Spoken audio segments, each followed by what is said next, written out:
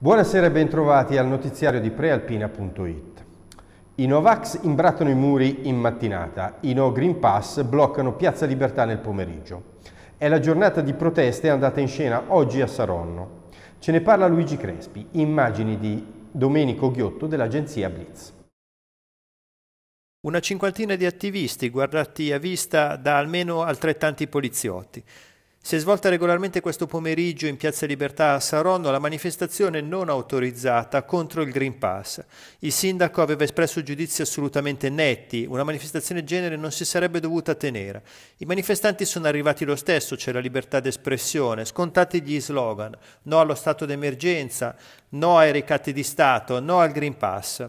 La manifestazione è continuata per ore. In piazza alcuni momenti di tensione sono stati registrati quando gli attivisti hanno cercato di portare un generatore per permettere l'alimentazione dell'impianto eh, di altoparlanti che doveva diffondere il loro slogan. Tutto però si è risolto tra la curiosità dei presenti e senza incidenti.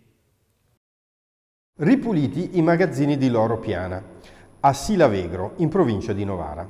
L'altra notte una banda ha messo a segno un colpo in grande stile. Utilizzando quattro furgoni, tre dei quali rubati in Lombardia, i ladri hanno saltato i depositi dell'azienda leader nel settore dell'abbigliamento, portando via in particolare capi in Kashmir. I ladri hanno prima bloccato il centro del paese con due dei veicoli e poi sfondato il muro dei magazzini, quindi hanno caricato i capi su altri due mezzi con i quali sono fuggiti. Uno dei furgoni è stato intercettato dai carabinieri e dalla polizia stradale lungo la provinciale della Valsesia. La banda però ha gettato chiodi a tre punti sull'asfalto che hanno squarciato le gomme delle pattuglie degli inseguitori. Inoltre è stato lanciato un estintore contro una vettura dei carabinieri. Fortunatamente l'impatto è stato evitato grazie all'abilità del militare al volante.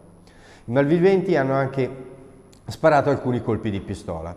Il furgone è poi uscito di strada e gli occupanti sono fuggiti a piedi, facendo perdere le loro tracce. L'altro mezzo si è dileguato con una parte della refurtiva.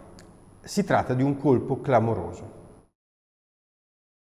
Lieto fine per un gatto che era finito in una canna fumaria ed era rimasto incastrato per oltre una settimana senza che nessuno se ne accorgesse. A Maccagno con Pino e Veddasca i vigili del fuoco sono riusciti a estrarre l'animale sano e salvo. È accaduto in uno stabile disabitato di via Mameli, il gatto era caduto per circa 6 metri nel cavedio ed era intrappolato da 8 giorni. Oggi è stato liberato. Il micio, una volta che gli è stato fornito del cibo, è stato anche affidato a una residente della zona che si è resa disponibile ad accudirlo. Spostiamoci ora a Varese.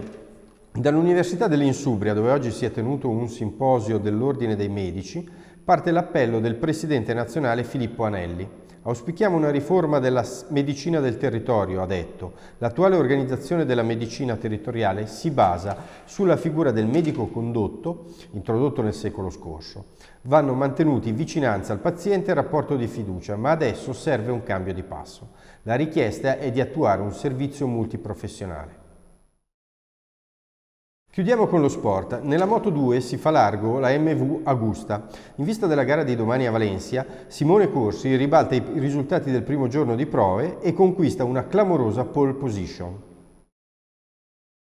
Per il momento è tutto, un augurio di serena serata e arrivederci domani alle 19 per una nuova edizione del notiziario di prealpina.it.